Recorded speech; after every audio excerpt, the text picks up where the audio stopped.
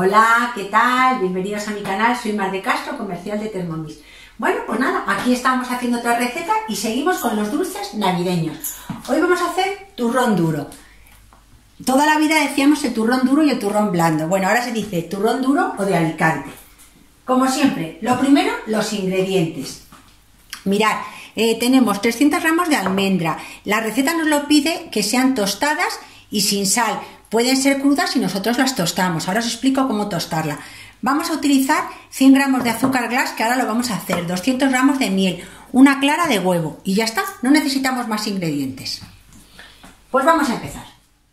Os voy a explicar cómo he tostado las almendras. Yo las he comprado crudas y las he metido al horno a 180 grados y las he tenido como 10 minutos. De vez en cuando las tenéis que dar vueltecitas. Se tienen que tostar, pero ojo para que no se os quemen, ¿vale? Eh, sí que es bueno que cojáis una buena calidad de almendra. Se nota muchísimo cuando compramos una almendra muy normalita porque no sale tan rico. Venga, pues vamos a empezar haciendo azúcar glass. ¿Qué vamos a hacer? Vamos a darle al peso, nos pide 100 gramos, le damos a la báscula y vamos a echar los 100 gramos. La receta nos la pide directamente que ya esté el glass, pero os voy a recordar cómo se hacía. ¿Qué hacemos?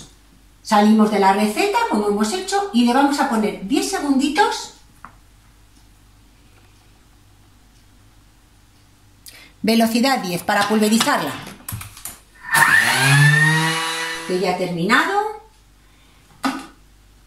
Y os voy a enseñar, que sabéis que me encanta, enseñaros cómo queda de bien el azúcar glass. Vale, ahora, ya esto os lo he contado muchas veces, pero bueno, a mí me gusta enseñaros cómo sacar el azúcar glass de nuestro vaso. Cogemos la tapa que nos sirve de embudo para que no se nos salga fuera y la echamos todo en el mismo cacharrito donde la teníamos. Vaciamos nuestro vaso y seguimos con la receta. Bueno, si seguimos la receta que viene en Cookie nos va a decir que lo primero de todo tenemos que precalentar el horno, poner las almendras para que una vez que estén tostadas las podamos utilizar, ¿vale? Entonces, lo primero de todo nos va a decir que pongamos la mariposa en las cuchillas. Acordaros que tengo varias recetas donde os he enseñado a ponerla. Y entonces, dice, coloque la mariposa en las cuchillas, ya está. Echemos una clara de huevo. Pues venga, la echamos. Nos dice que coloquemos tapa y cubilete. Y nos van a poner un minuto a velocidad tres y medio, porque lo que quiere es ir montando las claras. Nos dice que ya está, nos pide que retiremos la mariposa. Bueno, quiero que veáis que bien ha montado la clara, que hemos puesto solamente una, que es poquísimo. Retiramos la mariposa y ahora sí que retiremos esta clara que hemos montado en un bol y que lo reservemos.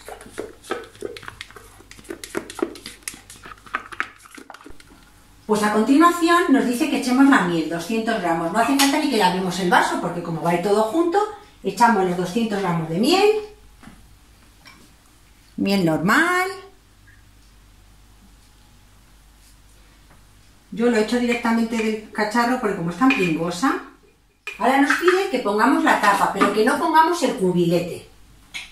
Y nos dice que tenemos que tenerlo 40 minutos a varoma y a velocidad 2. ¿Vale?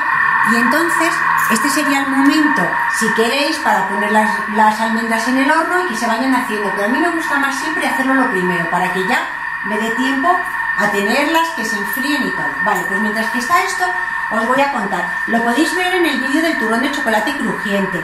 Pero ¿qué vamos a necesitar? Vamos a necesitar dos moldes, que pueden ser o bien de madera o, como os explico en el vídeo del turrón de chocolate, podemos hacerlos con nuestros bricks de zumo, de leche, de lo que queráis. Y los envolvamos o bien con papel de horno o bien con unos folios o incluso con film transparente. Vamos a ver, quien va a hacer muchos turrones a lo mejor le compensa comprar las cajas, pero yo digo que no hay que comprar nada. Con estos nos queda fenomenal. Y después, como estamos haciendo el turrón duro, mirad, yo compro estas obleas. Estas obleas son comestibles y son como las que cuando compramos un turrón duro de verdad es lo que trae, que será lo que vamos a poner abajo y arriba. Que no queréis comprarlas no es necesario, ¿vale? Si lo vais a hacer más veces, sí, porque además no venden por unidades, venden un paquetito. Venga, pues vamos. Bueno, ya han pasado los 40 minutos. Mirad cómo ha dejado la miel. Ha hecho como una especie de caramelillo. Venga, ahora nos dice que volvamos a poner la mariposa en las cuchillas. La pongo. Y a continuación nos pide los 100 gramos de azúcar glas. Los echamos.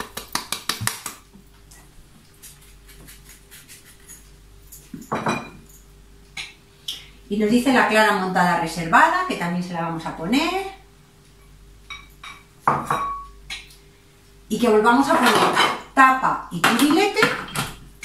Y ahora nos lo va a poner 15 minutos, 100 grados a velocidad 2. Como veréis, lleva muy poquitos ingredientes. Es un poco lenta porque tiene que ir calentando todo, pero compensa. Bueno, bueno, fijaros cómo ha quedado la clara montada con la, con la miel. Espectacular. Y ahora sí que tenemos que ir retirando la mariposa. Esto lo que sí que es es un poco pringoso. Tenéis que tener un poquitín de paciencia para retirar bien todo lo que sería la clara con la miel y aprovecharlo que lo tenemos agarrado en la mariposa. Pues venga, lo voy a ir retirando con cuidado y ahora os lo enseño. Y nos pide también que echemos las almendras inmediatamente. Ya las hemos echado, mirad. Y que lo mezclemos ahora bien con la espátula. Pues vamos a ello. Esto sí que tenéis que mezclarlo bien para que se reparta todas las almendritas con nuestra mezcla. Lo voy a mezclar bien y ahora lo ponemos en los moldes. Bueno, como es muy pringoso, veis que he cogido una espátula metálica que le he puesto un poquitín de aceite para ayudarme, porque si no de verdad que es difícil echarlo. Yo voy repartiendo mejor en las dos cajitas para conseguir que me caiga bien de almendra en ambos. Venga, vamos repartiéndolo. Y ahora con mi espátula, que todavía tengo que echar más, pero para que veáis cómo así no se me pega, porque es que esto es súper pringoso. Tenemos que intentar rellenar bien todas las esquinas.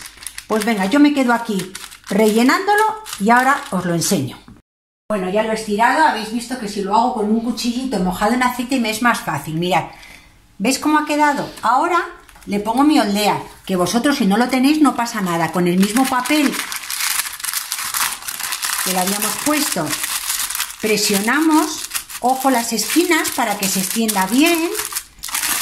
¿Veis? Hago así. Y este es lo mismo. Mirad, ahora le ponemos un peso, que puede ser una botella de leche, de lo que queráis. Este turrón tiene que reposar por lo menos 48 horas. Cuanto más tiempo lo tengáis, mejor queda. Lo dejamos así. Yo ahora le voy a dejar con el peso para que me mirad qué bien si lo aplastamos. Con el peso y después os lo voy a enseñar, ¿vale? Bueno, pues ya estamos aquí. Han pasado 48 horas. Bueno, mirad cómo está el turrón. Fijaros qué pintaza. Os animo a hacerlos. Me parece un regalo precioso, un detallito para tener con la familia estas navidades o con los amigos.